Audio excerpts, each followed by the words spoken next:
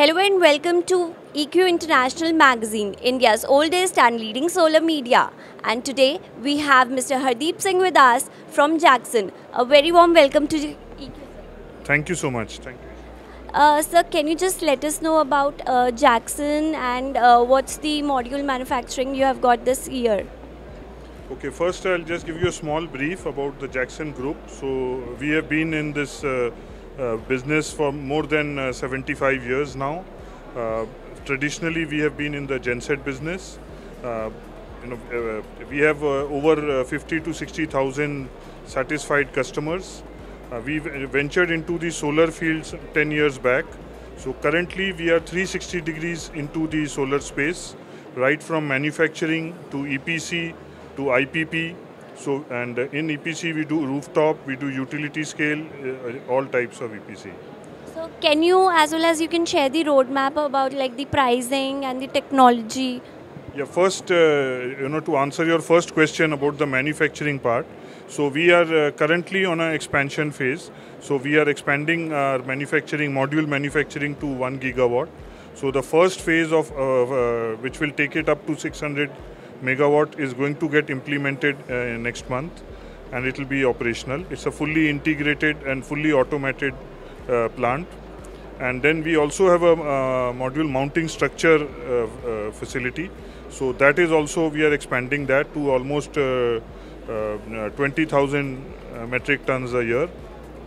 And as far as technology is concerned, so we were the, you see, Jakson in 2019 was the first Indian manufacturer to come out with a 400 watt peak module.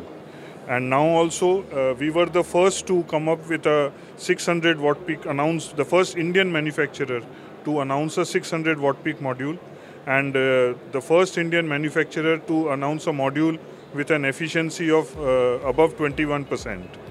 And uh, the new line that is coming up, so we will have the capability for full cut, half cut cell, multi bus bar, bifacial, um, glass to glass. So eh, you know, entire. As you saying, uh, like you are expanding. So any plans for uh, internationally uh, to expand as well, or yes. in India itself?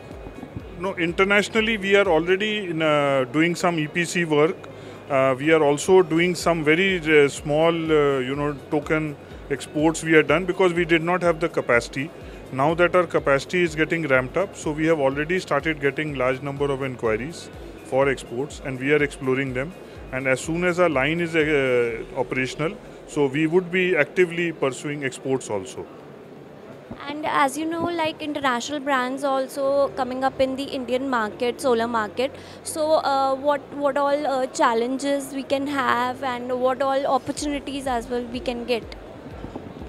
Uh, Okay, now the, you see the Indian government, so they are uh, you know putting some tariff and non-tariff barriers on uh, you know imported uh, modules.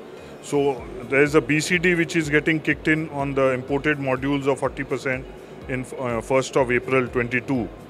And then on the non-tariff barrier side, so uh, we have the ALMM which has already got kicked in.